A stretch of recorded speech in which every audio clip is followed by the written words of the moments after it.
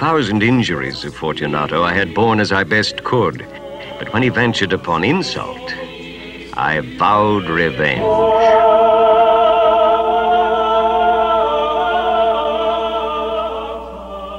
You who so well know the nature of my soul will not suppose, however, that I gave utterance to a threat.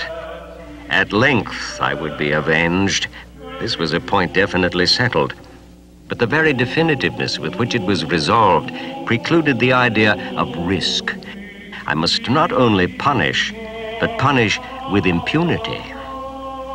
It must be understood that neither by word nor deed had I given Fortunato cause to doubt my goodwill.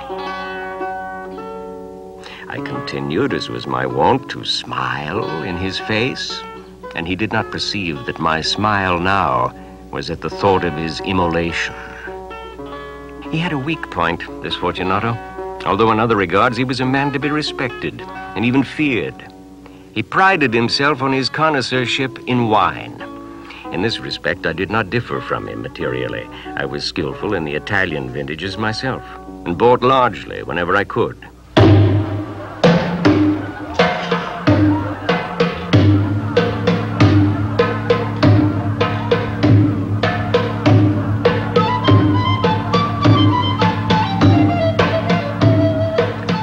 Was about dusk, one evening during the supreme madness of the carnival season, that I encountered my friend.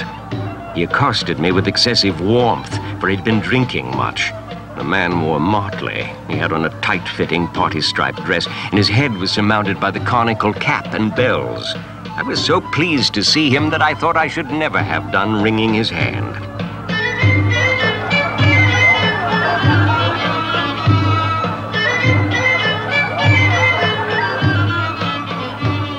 I said to him, My dear Fortunato, you're luckily met. How remarkably well you're looking today. But I've received a pipe of what passes for Amontillado, and I have my doubts. How, said he? Amontillado? Impossible. And in the middle of the carnival? I have my doubts, I replied. And I was silly enough to pay the full Amontillado price without consulting you in the matter. You were not to be found, and I was fearful of losing a bargain. Amontillado? I have my doubts. Amontillado. And I must satisfy them. Amontillado. As you're engaged, I'm on my way to Luchesi. If anyone has a critical turn, it is he. He will tell me. Luchesi cannot tell Amontillado from sherry. and yet some fools will have it that his taste is a match for your own. Come, let us go. Whither? To your vaults. My friend, no. I will not impose upon your good nature. I perceive you have an engagement. Luchesi. I have no engagement. Come. My friend, no. It's not the engagement, but the severe cold with which I perceive you're afflicted. The vaults are insufferably damp. They're encrusted with niter. Let us go, nevertheless. The cold is merely nothing. Amontillado, you've been imposed upon. As for Luchesi, he cannot distinguish sherry from Amontillado. Thus speaking, Fortunato possessed himself of my arm. Putting on a mask of black silk and drawing a roquelaure closely about my person, I suffered him to hurry me to my palazzo.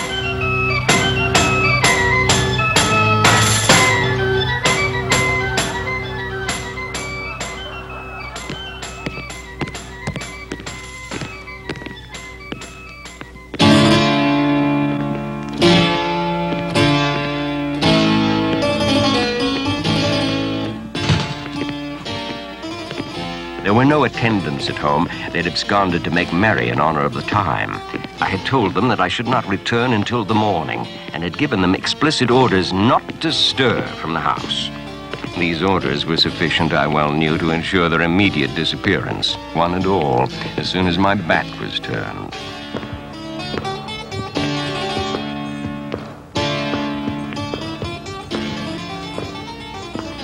I took from their sconces two flambeaux, giving one to Fortunato, bowed him through several suites of rooms to the archway that led into the vaults. I passed down a long and winding staircase, requesting him to be cautious as he followed. We came at length to the foot of the descent and stood together on the damp ground of the catacombs of the Montresors. The gait of my friend was unsteady, and the bells upon his cap jingled as he strode. Amontillado, said he. It is farther on, said I. But observe the white webwork which gleams from these cavern walls. He turned towards me and looked into my eyes with two filmy orbs that distilled the rheum of intoxication. Niter? he asked at length. Niter, I replied. How long have you had that cough? My poor friend found it impossible to reply for many minutes. It is nothing, he said at last. Come, I said with decision, we will go back. Your health is precious. You're rich, respected, admired, beloved. You're happy, as once I was. You're a man to be missed. Besides, there is Luchesi. Enough, he said. The cough's a mere nothing. It will not kill me. I shall not die of a cough. True, true, I replied. And indeed, I have no intention of alarming you unnecessarily, but you should use all proper caution. A draught of this Medoc will defend us from the damps. Here I knocked off the neck of a bottle which I drew from a long row of its fellows that lay upon the mold. Drink, I said, presenting him the wine. He raised it to his lips with a leer. He paused and nodded to me familiarly while his bells jingled. I drink, he said, to the buried that repose around us, and I to your long life. He again took my arm, and we proceeded. These vaults, he said, are extensive. The Montresors, I replied, were a great and numerous family. I forget your arms. A huge human foot crushes a serpent rampant whose fangs are embedded in the heel. And the motto? Nemo me impune lacessit. No one attacks me with impunity. God, he said.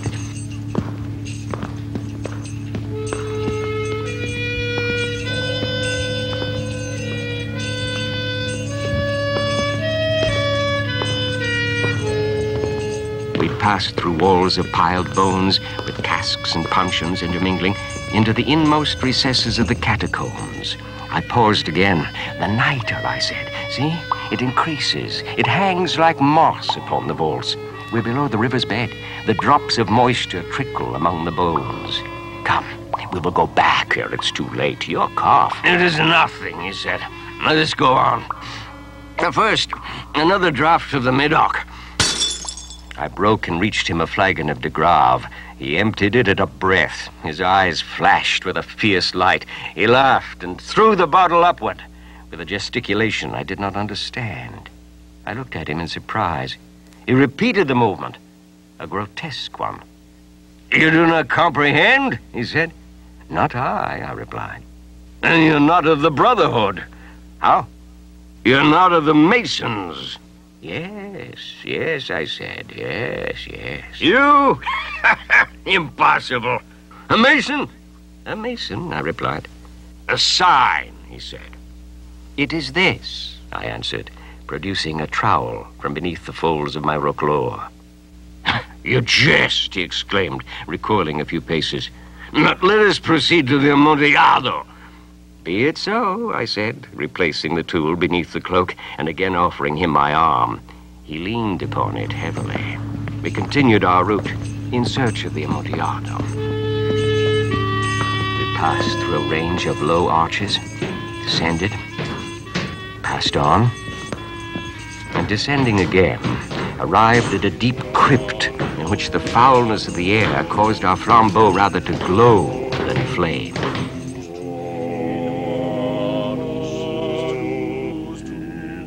At the most remote end of the crypt, there appeared another, less spacious. Its walls had been lined with human remains, piled to the vault overhead in the fashion of the great catacombs of Paris. Three sides of this interior crypt were still ornamented in this manner. From the fourth, the bones had been thrown down and lay promiscuously upon the earth, forming at one point a mound of some size. Within the wall, thus exposed by the displacing of the bones, we perceived a still interior recess. In depth, about four feet, in width, three, in height, six or seven.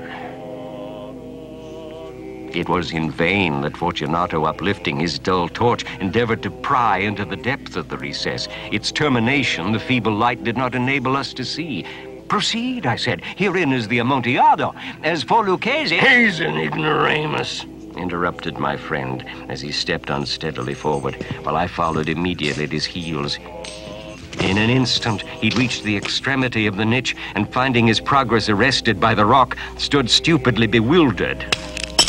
A moment more, and I had fettered him to the granite.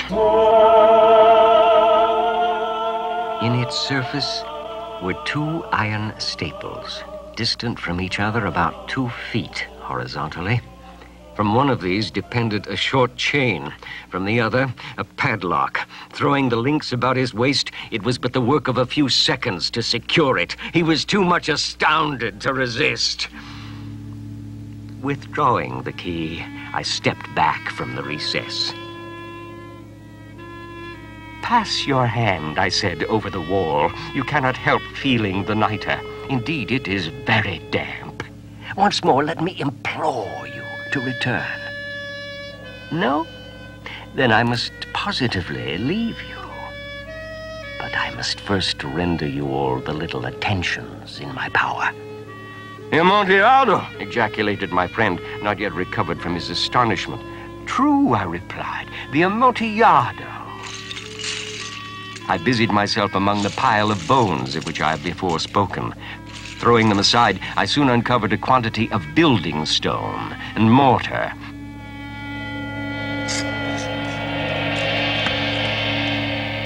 With these materials, and with the aid of my trowel, I began vigorously to wall up the entrance of the niche.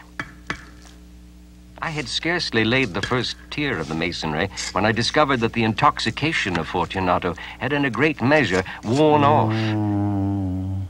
The earliest indication I had of this was a low, moaning cry from the depth of the recess. It was not the cry of a drunken man. There was then a long and obstinate silence I laid the second tier, and the third, and the fourth. And then I heard the furious vibrations of the chain. The noise lasted for several minutes, during which, that I might hearken to it with more satisfaction, I ceased my labors and sat down upon the bones. When at last the clanking subsided, I resumed the trowel and finished without interruption the fifth, the sixth, and the seventh tier. The wall was now nearly upon a level with my breast. I again paused, and holding the flambeau over the mason work, threw a few feeble rays upon the figure within. A succession of loud and shrill screams seemed to thrust me violently back. For a brief moment, I hesitated. I trembled. Unsheathing my rapier, I began to grope with it about the recess. But the thought of an instant reassured me. I placed my hand upon the solid fabric of the catacombs and felt satisfied. I replied to the yells of him who clamored.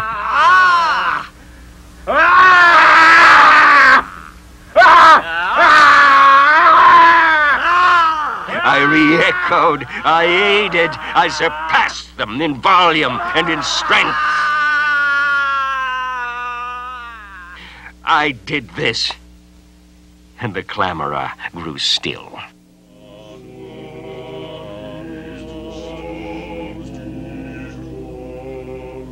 It was now midnight, and my task was drawing to a close.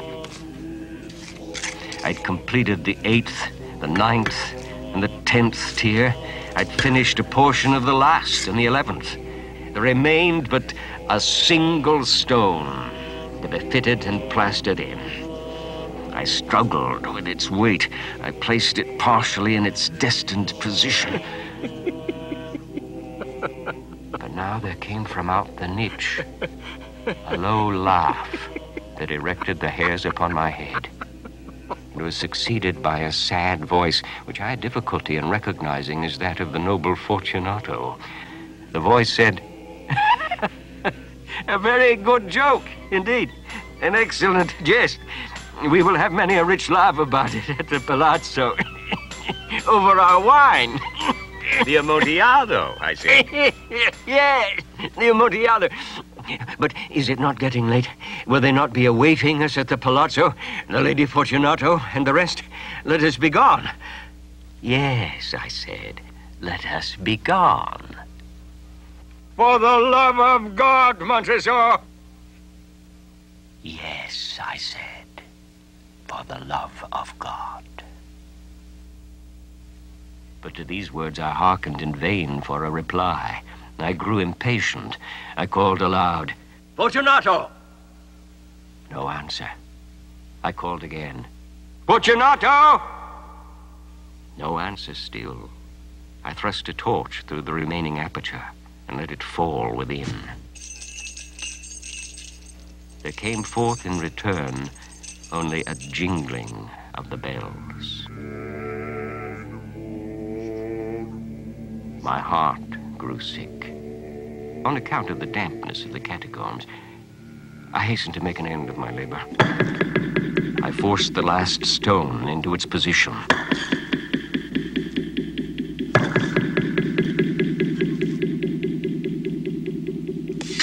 I plastered it up.